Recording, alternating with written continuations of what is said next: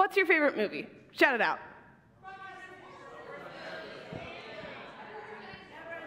Okay, lots of different answers. Great. Mine's Captain America Civil War. Well, I actually went and asked some of my friends. What's your favorite movie? Spaceballs. Pitch Perfect. Tangled. Whiplash. Ten Things I Hate About You. Fifty First Dates with Adam Sandler. It's Spider-Man Far From Home. Top Gun. Ratatouille. I know that was pretty fast. So here's the list. They're all pretty good movies, right? But think about it. Off the top of your head, do you know who the director of any of these movies are? Maybe not. So if you don't know these people, it's totally okay. But I want you to try to notice something.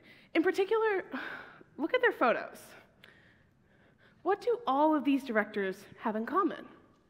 Say it with me now. They are all white men. Yeah. Well, a little bit about me. From a young age, I've always been interested in performing, and when I was young, I wanted to be an actor. That was until about sixth grade when I watched Gallery Star Wars Mandalorian. It's a super interesting show about the creative process, and after watching it, I decided I wanted to be a film director. Of course, not knowing at the time, it's quite literally the hardest one to succeed in, but that's not the point. Searching director Aneesh Chaganty once said, Growing up, watching my favorite films, those films never had people who looked like me in them.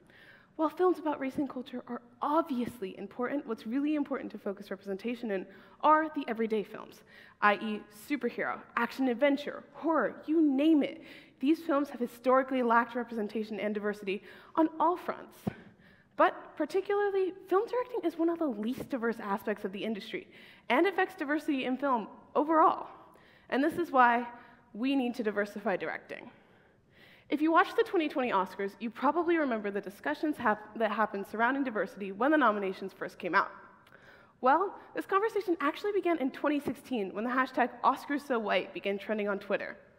While the Oscars have worked to rectify their failings since the blatant callout, the one category that is still lacking is the Best Director category. So currently, the awards have been running for 93 years, and in that time, 400 directors have been nominated. Out of those 400, seven have been women and six have been black men. That statistic looks like this. You know, stories are essential to society and culture, so it can be problematic when we get them from only one perspective. Because of this narrow view, there are many people and cultures who are underrepresented or represented in a harmful way. It's crazy to think about, isn't it? An industry viewed as progressive is, in fact, not very progressive at all. Directors have a hand in almost every part of the creative process, and so it makes sense that they have a huge effect on overall cast diversity. It's been shown that directors of color often have movies with more diverse casts than those movies directed by white men. One director who has recently gotten a lot of backlash for casting only white actors is Tim Burton.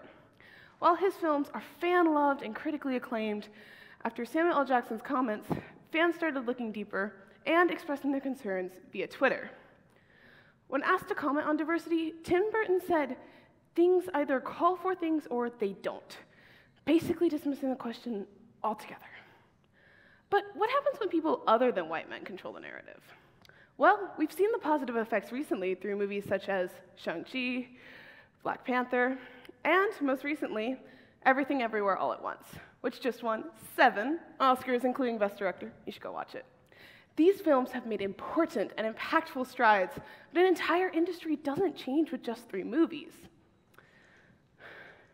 Currently, women control around one third of the personal finances in the US, 11 trillion, give or take. By 2030, which is surprisingly closer than you think it is, women are expected to control $30 trillion of personal finances within the US. This means that women will be funding more things, i.e., movies, Women will want to see will want to invest in things they can see themselves represented in. So no longer should the market cater to the white male point of view. Because of this, diversity will be favorable for both personal and professional reasons. So why not? Let's take this bigger. Why does film matter? Why should we care? Both valid questions. I have two words unconscious bias. Unconscious bias is a form of social stereotyping developed by our brains, oftentimes without our knowledge. One thing that can perpetuate harmful unconscious bias is film.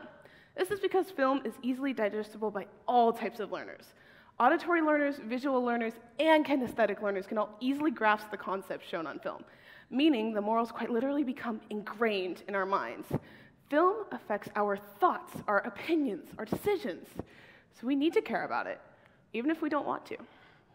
Now, hopefully, what you're asking yourself at this point is well, what can I do? That's a great question. As shown through the Oscars, when people speak up, things change. So, speak up, either via through social media or, the way that's more interesting in my opinion, watching movies with diverse directors. Now, you may not know where to start, so I've compiled a list of movies directed by women and people of color that I hope you check out when you get the chance. And, you know, maybe the next time you go to see a movie, ask yourself, who's the director? Thank you.